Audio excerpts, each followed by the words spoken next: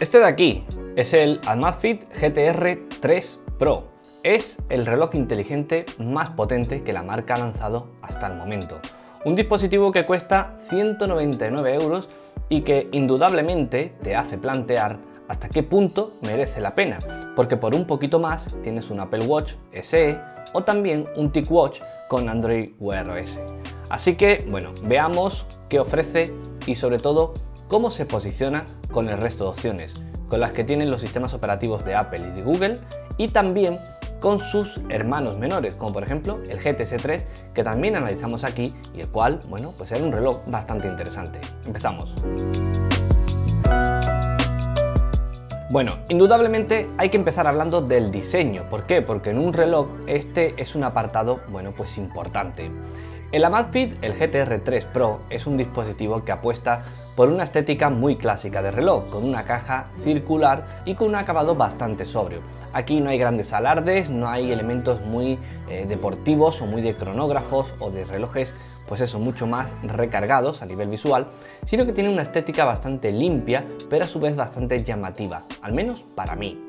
Este reloj está fabricado en una caja de aluminio y en uno de los laterales encontramos dos botones, uno de ellos con una corona giratoria. Estos botones tienen un buen recorrido, responden bastante bien y lo que es la corona giratoria nos permite bueno, desplazarnos por las diferentes opciones del sistema operativo, tanto los diferentes menús como las diferentes aplicaciones que podemos encontrar en ella. Lógicamente, para toda la interacción vamos a utilizar principalmente la pantalla. Una pantalla táctil que se ve muy bien, con una muy buena resolución, con una muy buena calidad a nivel de representación de color y sobre todo con algo muy importante que no todos los relojes inteligentes ofrecen, un sensor de brillo automático.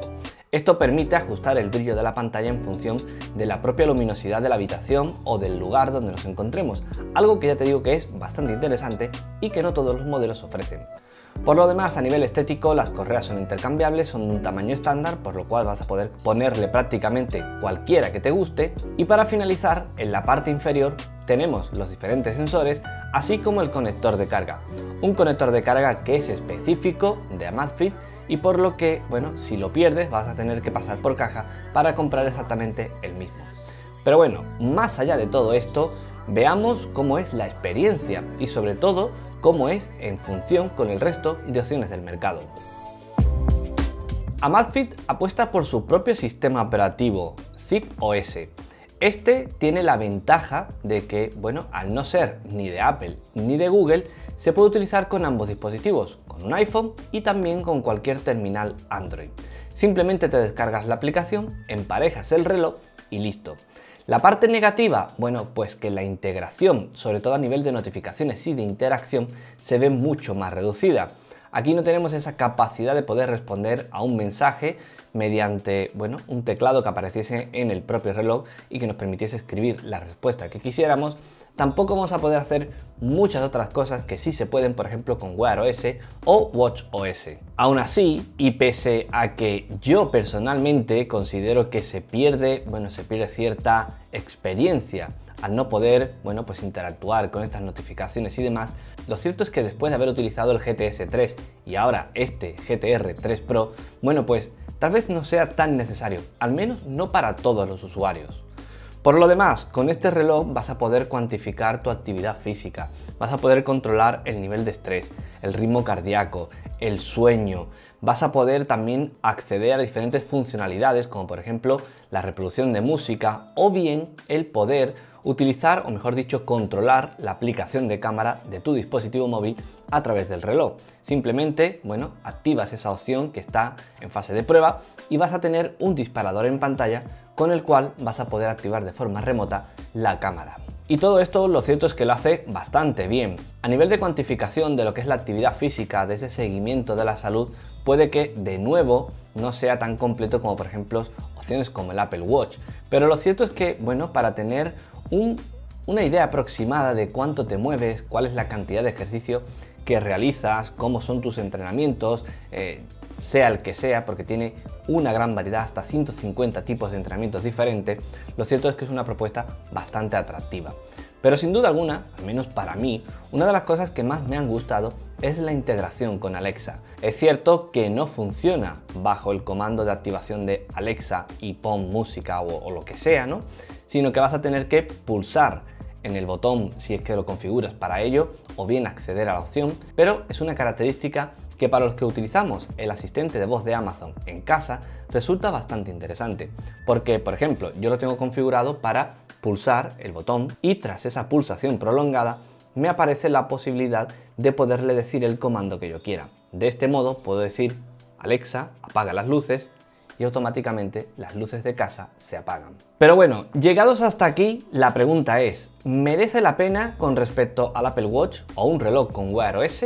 O incluso merece la pena con respecto al resto de opciones que ofrece Amazfit y que son más económicas? Bueno, vamos a ir por partes.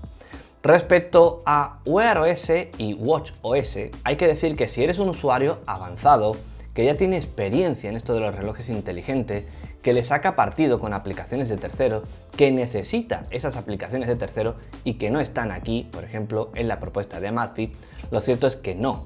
Por un poquito más te puedes comprar un Apple Watch SE que te va a dar, pues eso, si tienes un iPhone, una experiencia mucho más rica. Del mismo modo, propuestas como el TicWatch, que también hemos analizado aquí en el canal, que llevan Wear OS, te van a permitir pues muchas más funcionalidades que este reloj de aquí no te permite. Pero con respecto a otras opciones, bueno, la cosa cambia. Es cierto que este GTR 3 Pro cuesta 199 euros, que no es un precio económico que digamos, pero la calidad de construcción del propio reloj, las opciones que te ofrece Zip OS, eh, la propia experiencia y sobre todo, bueno, pues el conjunto en general, creo que hace que sea una propuesta llamativa. Respecto al GTS 3 o este, bueno, aquí ya diría que es más cuestión de gustos. El GTS 3 me parece, bueno, un buen reloj, pero por una diferencia de prácticamente 50 euros, lo que es el acabado, lo que es el, bueno, la sensación con este GTR 3 Pro me parece mucho más gratificante. Por lo que puestos a gastarte 150 euros en el GTS 3, a menos que te guste mucho ese diseño de caja cuadrada, yo personalmente apostaría por este modelo. Me parece que es muy completo, que ofrece una muy buena experiencia y que sin irte a los relojes inteligentes más caros del mercado y sobre todo teniendo en cuenta que lo vas a poder utilizar tanto con un iPhone como con un dispositivo Android, bueno, pues esta opción me parece más que atractiva. Nos vemos aquí en el output en el siguiente vídeo y ya sabes, cualquier duda, cualquier sugerencia, en los comentarios. Un saludo.